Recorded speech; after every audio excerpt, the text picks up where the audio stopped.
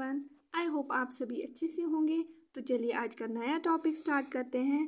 That is from paper educational guidance and counselling from PEd programme and the topic is philosophical and socio cultural foundation of guidance ठीक? Guidance क्या है? उसकी meaning क्या है? Types क्या है? And aim of guidance and principles of guidance जो है, उस पर मैंने अलग से वीडियोस बनाए हैं, जो मेरे playlist namely educational guidance and counselling में मैंने अपलोड किए हुए हैं। आई रिकमेंड यू ऑल कि आप वो पहले या इस वीडियो के बाद देखें, ताकि आपको अच्छे से अंडरस्टैंडिंग मिले। फिलोसफिकल हम पहले पढ़ते हैं।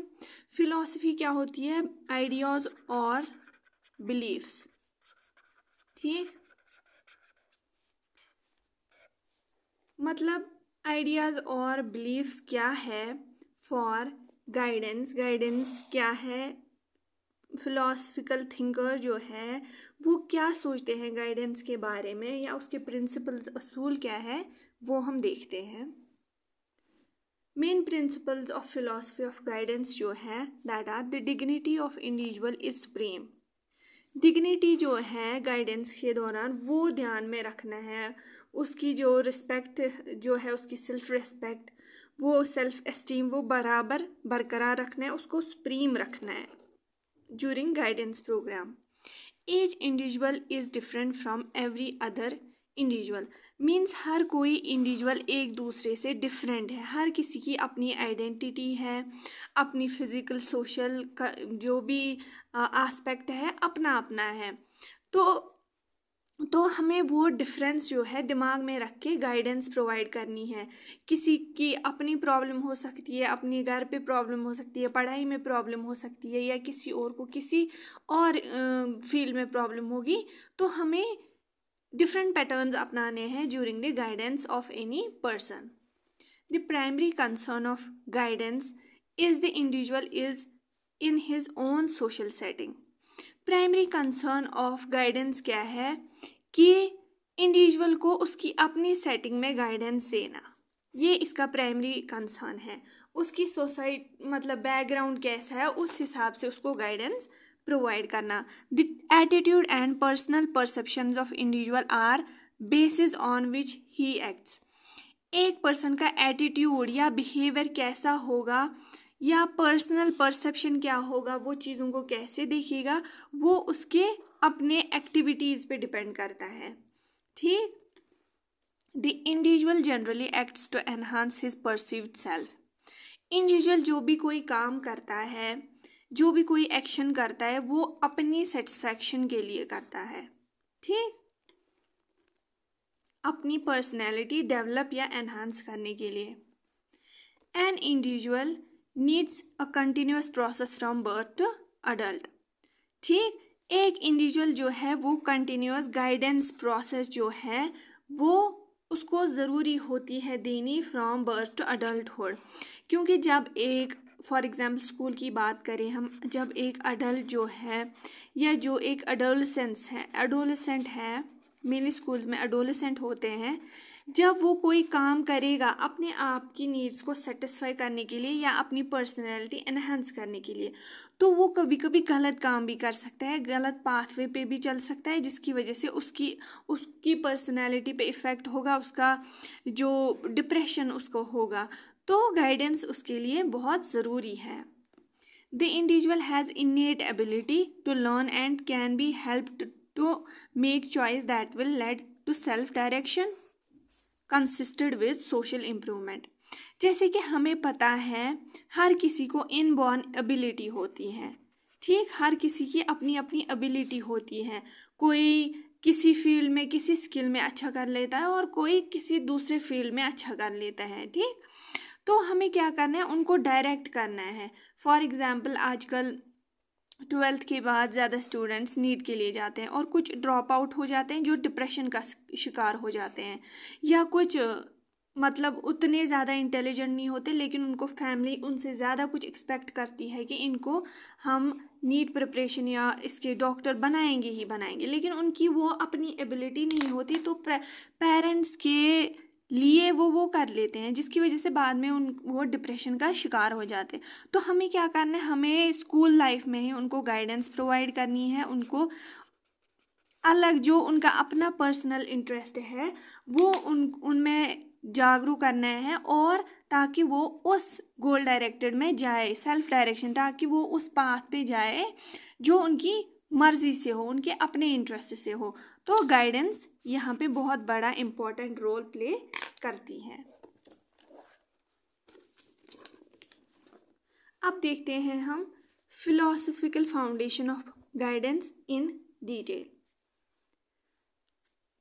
philosophy क्या बिलीव करती है कि गाइडेंस की फाउंडेशन क्या होनी चाहिए, नीव क्या होनी चाहिए that is every individual has talent ठीक? हर किसी इंडिविजुअल का अपना अपना टैलेंट है। किसी का एक किस्म का टैलेंट है, कोई गा सकता है। म्यूज़िक कर सकता है, कोई डांस कर सकता है, कोई आई मीन सिंग कर सकता है, कोई एकेडमिक फ़ील्ड में अच्छा कर सकता है, ठीक? वो मार्क्स वगैरह अच्छा लेता है तो वो उस फ़ील्ड में अच्छा है। हर किसी का अपना अपना टैलेंट है तो हर कोई एजुकेशन फ़ील्ड में ही नहीं जा सकता। कोई इस फ़ील्ड में जा सकता है, कोई इस इस फ़ील्ड में तो अपनी करियर अपना करियर सेटल करने के लिए कोई ये ये फ़ील्ड कर अपना सकता है। लेकिन सारे इसी फ़ील्ड में जाते आगे आगे और लिमिटेड सीट्स होती है। तो हमें क्या करना है? उनको गाइडेंस देनी है। जिस फ़ील्ड में वो इंटरेस्टेड है, उनको उसी पाथवे में हमें गोल दिखाना है। एक्सलेंस इज़ पॉसिबल मीन्स क्या होता है?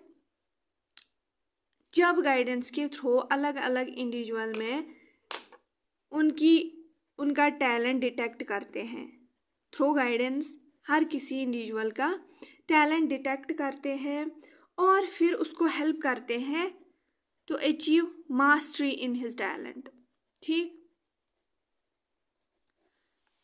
कोई, फिर से मैं बोलूँगी, कोई एजुकेशन फ़ील्ड में नहीं जाना चाहता।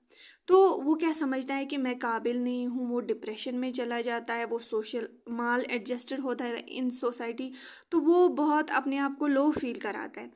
लेकिन एक्सीलेंस पॉसिबल है दोज स्टूडेंट्स में थ्रो गाइडेंस हम उनको गाइडेंस दे सकते हैं जिस, जिसकी वजह से और किसी फ़ील्ड में वो एक्सीलेंट हो सकते हैं। ठीक, वो सेटिस्फाई होंगे फिर because of guidance in life in life there are problems हमें पता ही है कि life is full of problems किसी को एक टाइप की प्रॉब्लम होती है या किसी को दूसरे टाइप की, है कि नहीं? तो हमें क्या करना है? उनको उस प्रॉब्लम से निकालना है and that is only because of guidance possible ठीक? Respect are respect the dignity of individual जो इंडिविजुअल का सेल्फ रिस्पेक्ट है, उसकी डिग्निटी है, उसको हमें रिस्पेक्ट करना है। ठीक? किसी को इन्फीरियर फील नहीं कराना, किसी को सुपीरियर फील नहीं कराना ऑल आर इक्वल तो गाइडेंस प्रोग्राम में हमें डिग्निटी जो है इंडिविजुअल की, वो मेंटेन रखनी है. फ्रीडम ऑफ़ चॉइस मतलब कि बच्चों को फ्रीडम ऑफ़ चॉइस देनी है, चाहे उनको जो भी करना हो, चाहे वोकेशनल फ़ील्ड में जाना हो, या कोई भी एजुकेशनल फ़ील्ड में जाना हो। तो उनको डिफरेंट प्रोग्राम्स के थ्रू वोकेशनल और एजुकेशनल प्रोग्राम्स के थ्रू उनको गाइड करना है। ठीक? ताकि उनको चॉइस मिले बहुत सारे कोर्सेज में। ठीक? ये था हमारा फिलोसफिकल फाउंडेशन ऑफ़ गाइडेंस अब हम देखते हैं socio cultural foundation of guidance ठीक? यहाँ पे किस एस्पेक्ट के बारे में हम बात करें? सोशो कल्चरल एक बच्चा या जो भी जिसको प्रॉब्लम हो, उसको सोसाइटी या अपने कल्चरल जो भी कल्चर होगा, उसमें फिट करने के लिए उसको क्या फाउंडेशन रखी गई है गाइडेंस में? ठीक? सोशो कल्चरल फाउंडेशन जो है that lies in environment of the individual environment में एक बच्चा कैसा है, कैसी सेटिंग होगी, वो देखते हैं हम। गाइडेंस में गाइडेंस जो है वो एक इंडिविजुअल को कैसे हेल्प कर सकती है in that field first is change in social pattern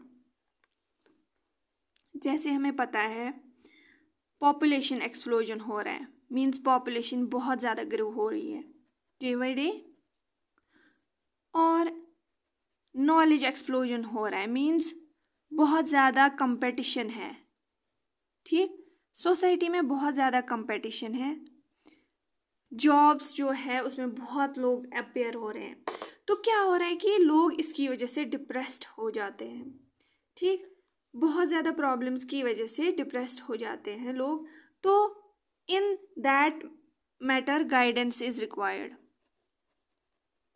ठीक?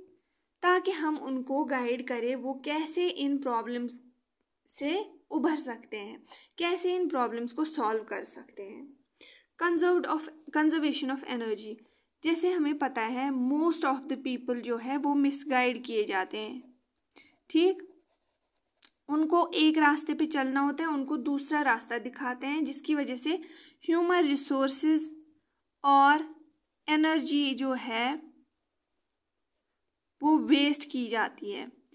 फॉर एग्ज़ाम्पल कोई बच्चा बहुत ज़्यादा टैलेंट टैलेंटेड होता है इन सिंगिंग, ठीक? In singing. तो उसको क्या किया जाता है? उसको मिसगाइड किया जाता है कि आप कुछ और बनो। तो उसकी वजह से जो वो कंट्रीब्यूट कर सकता था सिंगिंग फ़ील्ड में, या जो कोई किसी को शौक है साइंटिस्ट बनने का, ठीक है? उसको हम गाइड करते हैं कि आप सिंगिंग फ़ील्ड में जाओ जहाँ पे वो अच्छा नहीं करता, ठीक? तो क्या होता है कि एनर्जी, ह्यूमन रिसोर्सेज या एनर्जी का वेस्ट होता है। जहाँ पे वो कुछ अच्छा एक्सेल कर सकते थे, उनको वहाँ ना भेज के हम गलत तरीके से भेजते हैं। कोई मिस गाइड करता है उनको, चाहे फिर फैमिली में हो या सोसाइटी में हो तो क्या होता है?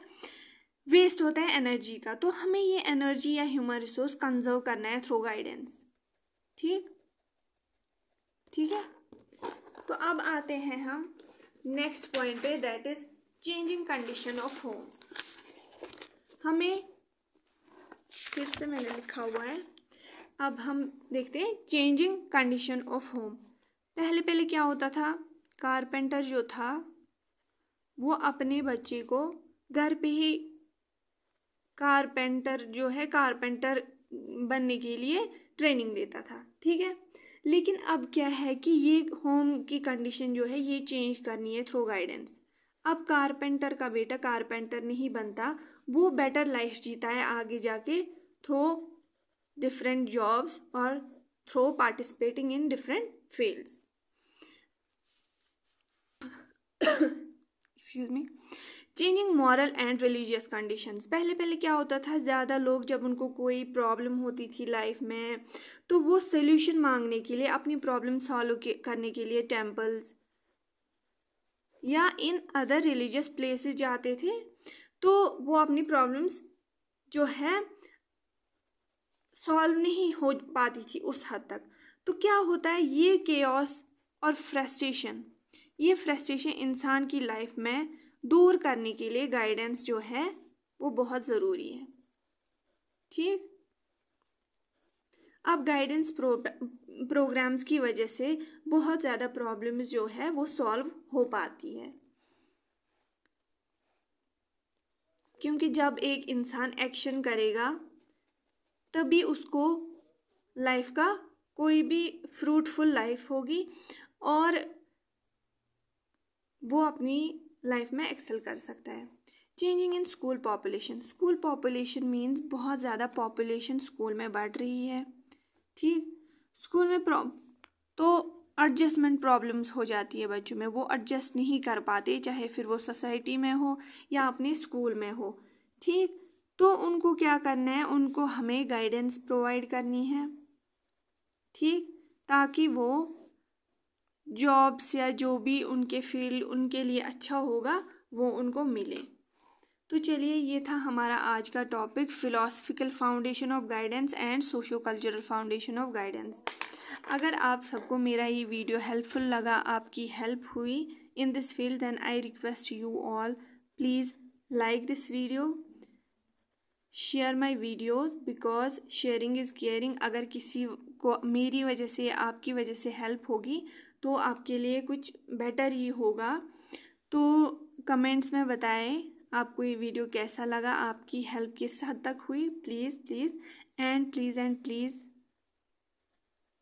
मेरी इस चैनल एजुकेशन एम्पावरमेंट को सब्सक्राइब करें ताकि आपकी हेल्प करूँ और मैं जिसको भी हेल्प चाहिए तो मैं उसकी हेल्प कर सकूँ and please for a moment pray for me and thank you so much for watching this video all the best for your exams thank you